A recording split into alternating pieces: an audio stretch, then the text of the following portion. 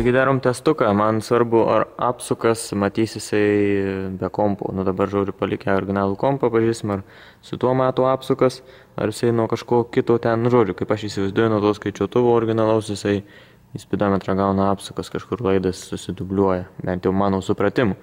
Tai pažiūrėsim dabar, ar su, su, su, su kompu originaliu jisai veikia tas, tos apsukos rodo, kai aš sukinėjau, kad nu tipo variklis sukasi. Jeigu veikia, tada atjungsim kompą ir žiūrėsim, ar tada veikia, nes galbūt per kompą iš kompo išeina į spidometrą signalas.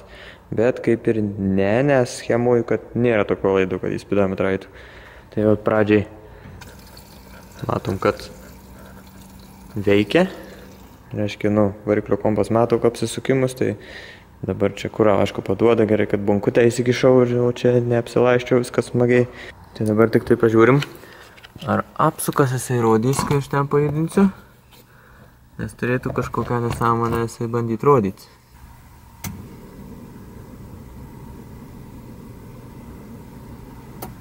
Taigi nerodo. Reiškia ir kompą atjungus tikrai nerodys. O tai reiškia, kad ten jis kažkur kitur ten ima tą signalą.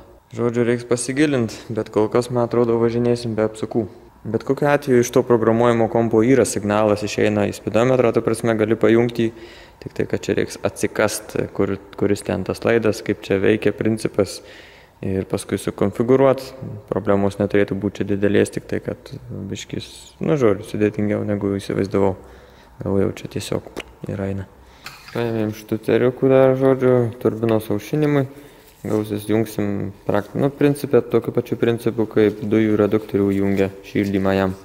Tai, kur eina į, į pečiuką, tu prasme, šlangos, tai tas pečiukų šlangas čiunkšt čiunkšt, tarpia šitus ir tada iš šitų eina iš turbinos, nu, tiksliau į turbiną ir iš turbinos aušinimas.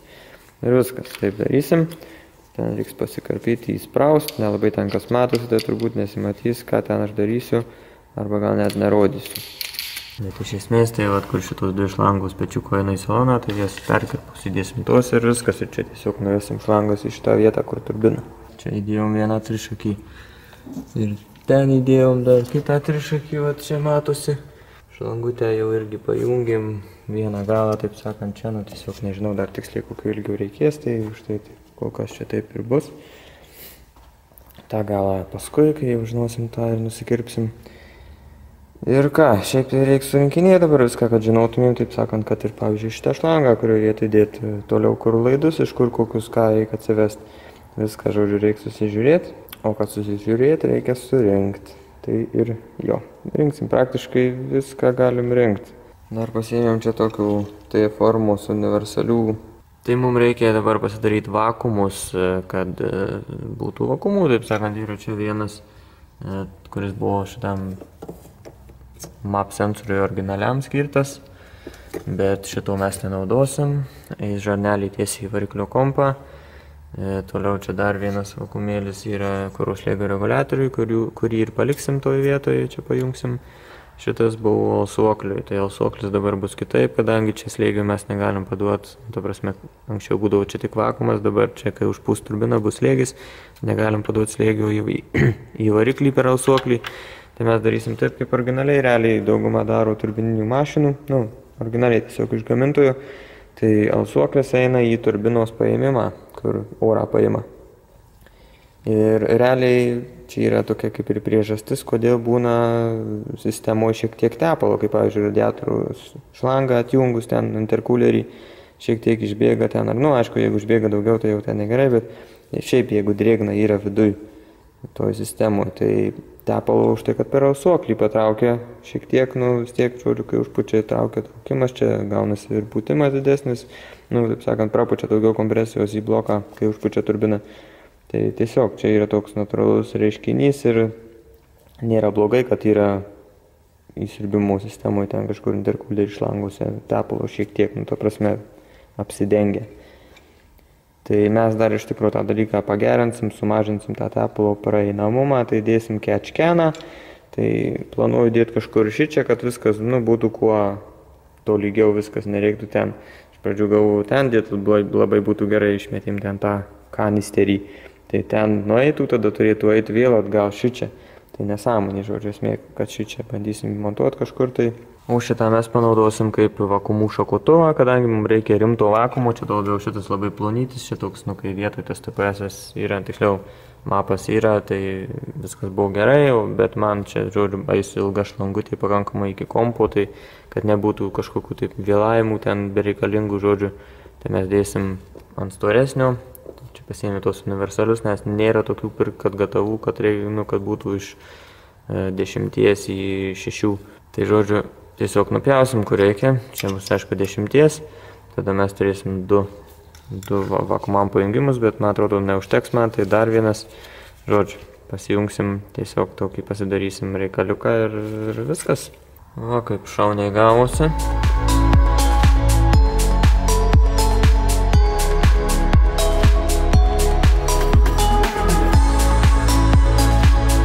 Dar kartą turiu labai labai padėkoti tam žmogui, kur čia davė Civiko radiatorių.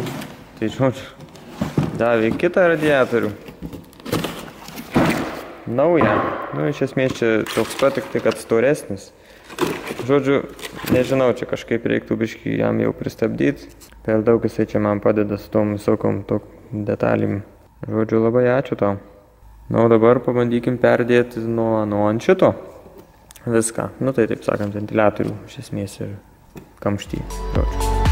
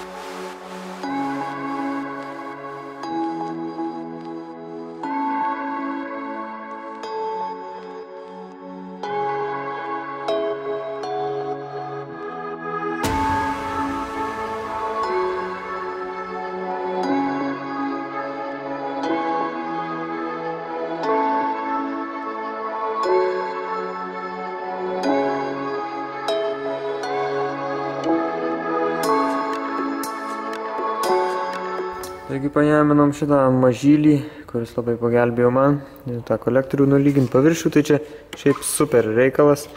E, šiaip ir šitas švitrinis net neskirtas čia metalui, nu, aišku, gal čia toks kaip universalus, bet esmė, kad, nu ir šiaip čia realiai tai yra papigiena, lenkiškas kažkoks, vat, padarytas, nu, aišku, čia nieko sudėtingo, nėra ką čia baisiai daryti, bet Esmė, kad lenkiškas papigiena ir čia buvo kartu pridėtas šitas švitrinis. Jisai tikrai gan aštrus dar likęs ir galima dar kokią porą laisvai kolektorių nušlifuoti. Esmė tame, kad jokių problemų nebuvo nušlifuoti. Trukau čia maksimum 10 minučių, tikrai neilgiau. Ir labai puikiai nusilygino viskas ledas. Taip pat nulyginom dar ten, žodžiu, ir kitus paviršius, kitą kolektoriaus, nu ten, kur turbina sukasi irgi, nors ten pusė velnio buvo, labai nedaug ten tik pralėkti reikėjo. Ir taip pat downpipe išlyginom irgi. Žodžiu, viskas ledas pasiteisino 110 procentų. Ir, žodžiu, jo, turim įrankiuką fainą. Aišku, norinčio normaliai su, su juo dirbti reiktų pasimti rimtesnės firmos ir didesnį, nu, ar bent jau didesnį, nes jisai šiaip silpnokas yra tą kolektorių uždedi ir negali net priliest, nes jisai sustoja, to prasme jėgos nėra tokios. Aišku, tas kolektorius sveria normaliai, bet kaip sakiau, maksimum 10 minučių įsilygino kuo puikiausiai, tai nėra čia ką žodžiu ir sakyti daugiau. 100 eurų, nu 105 eurų.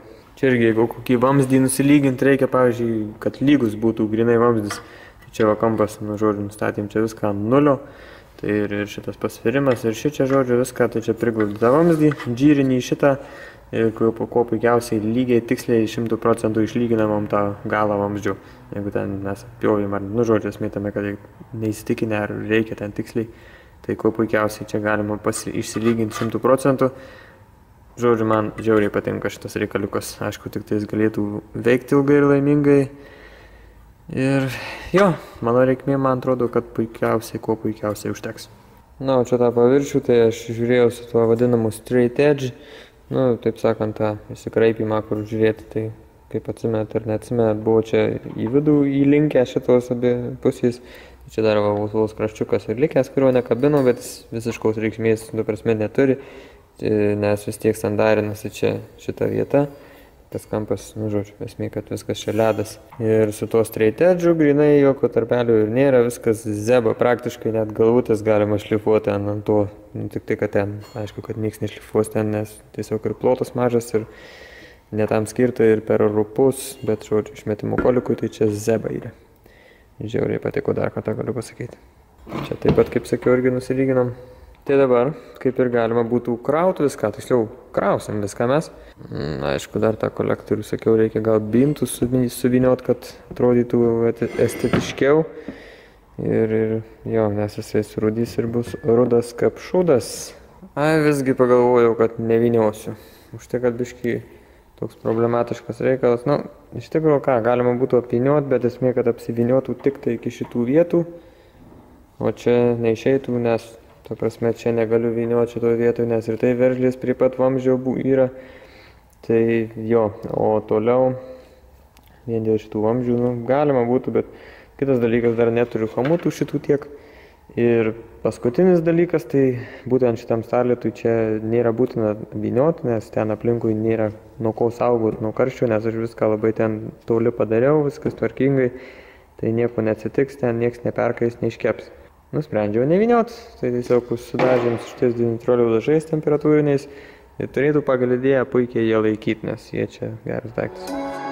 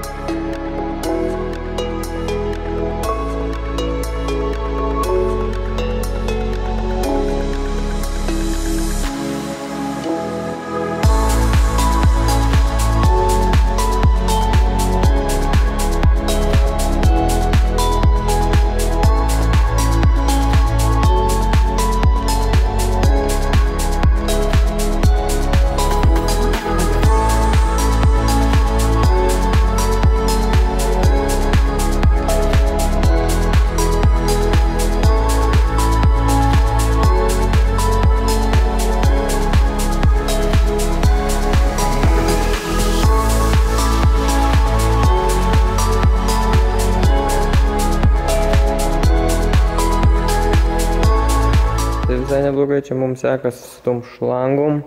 Susivedžiojom, suprantu viską normaliai. Dar čia beje viena tokia problemėlė greičiausiai bus, tai su šita, nu, ta prasme, šita storąją žarną alsuoklio ir ten grįžtamų dar galiuką įdėjau. Tai jinai skirta antifrizui, tai greičiausiai jinai suburks. Ir žodžiu, nieko gero šios nebus, tokiais, nu žodžiu. Tai reiks pasiknis dar paieškoti labiau, nes, nu žodžiu, neradau tiesiog keliose vietose buvau neradau, kad būtų atspari kūrui tokio storio. Nu, žodžiu, vėlgi eilinį kartą stebuklas kažkoks tai paprasta žarna gaut. Kol kas paliksim taip. Čia, žodžiu, turbinos aušinimo šitos dvi apačioje viršui. Eina jos čia, žodžiu, šičia į tą pečiuką vienas trišakis ir ten antras trišakis. E, toliau čia alsuoklis eina iš aukštų dangtelių eina į kečkeną ir iš kečkeno eina du portai. Nu, čia realiai galėjo būti vienas portas, bet kadangi čia jie buvo vienas in, kitas out, o aš padariau abu out. E, šitas vienas jau pajungtas ten į, į sirbimo, žodžiu, ten gaunasi kaip turbina traukia, nu čia gaunasi principas toks pat kaip gamintojas daro originaliai ten, žodžiu, turbininėse mašinos. Tai principas toks pat, tik tai kad plus kečkenas, tai sugausim tepalą. Ir antras portas eina iš ten, iš čia tiksliau į ten, bet mes neturim žarnos pasibaigė mūsų, tai žodžiu, už tai nepajungiau dar. Na čia, žodžiu, šitą tik tai pajungti, čia sudėsim sateškės, nes čia, žodžiu, jokio slėgio nieko nėra, čia tai tiesiog, ir čia tų jungčių belikiek, tai čia hamutus dėti nesąmonė būtų. Toliau, toliau praktiškai didžioji dalis bus e, laidynas atsivesti, tiksliau pravesti iš salonų į variklio skyrių laidų ten visokiem dalykam papildomiem, kurių man reiks. E, dar reiks taip pat tą skai, skaičiuotuvą žvaigždę ten prisitvirtinti, viską atsivesti irgi laidus, aišku, pritvirtinti daviklį, kuris skaitys tą žvaigždę. Ir panašiai. Tai va tokie reikaliukai, čia tai tokia vingarybė, čia tų žarnų krūva. Nu, praktiškai visų čia reikia, bet kokiu atveju, tik tai šitos vietoj dviejų galima buvo vieną storą padaryti, bet, žodžiu, biškai per daug reikalų čia buvo jau užkniso ir Žodžiu, viskas čia ok. Taip pat čia aišku, kraniukas yra padarytas, kaip matėt, išleidimui tepalo ir labai patogiai įsileis. Na ir ką, šiaip, žodžiu, viskas normaliai. Filtrą padėsim čia, štai kad tiesiog tokia vieta labai patogiai gaunasi. Viena tas pravedimas tiesiai nuvarys ir viskas tvarkoj bus. Anksčiau galvojau, kad čia kažkur tai daryta filtrą arba apačioje arba viršui. Bet čia, žodžiu, gaunasi reikia 2 laipsnių staigios alkūnės. Na, žodžiu, Tai paprasčiau buvo, radau vamzdį, viską pritaikėm, padarėm ir viskas čiki. Tai reikia, žodžiu, dar išmetimą dabar uždėti, nu, gal ne dabar, dabar varysim jau namo. Bet esmė, kad galim išmetimą uždėti, nusipirksim šlangą, sudėsim šlangą ir, žodžiu, dar toliau visokie kiti reikalai, laidai jau turbūt prasidės pagrindė. Šitą reiks iš visų užglušinti, nes jau mes turim dabar rimtą alsuoklį, tai šito realiai net nėra kur jungti. Nes jeigu čia pajungtumėm į sirbimą, pavyzdžiui, arba čia kaip originaliai buvo, Tai tada gautųsi, kad, nu, kol turbina neužpučia viskas normaliai, bet kai užpučia turbina, tada pučia slėgį į voštų dangtelį, nu, tiksliau į variklio skyrių, į vidų ir tada per visus salnikus, per visas tarpinės, kai duoda tepalo, kai apsišika variklis, tai labai būna faina. Tai žodžiu, už tai mes nejungsim į čia, kur yra charge pipai. Jungsim, tiksliau už tai jungiam prieš turbiną, ten, kur visada vakumas. Kitas variantas tiesiog į lauką tą atsuklį padaro labai dažnai kas. Už tai, kad tai paprasčiausia realiai. Bet aš noriu, kad, taip sakant, nesmirdėtų, nes būna paskui kvapai per pečiuką, vis tiek tas alsoklis variklių skyriaus, nu, variklių vidaus e, kvapelis, tas tokio benzo, ne benzo. Tai nėra labai malonus, už tai padariau aš taip, kaip originaliai daro. Kad, taip sakant, tuos garus, kur išalsuoja, jie sudega vėl patraukia per įsirbimą.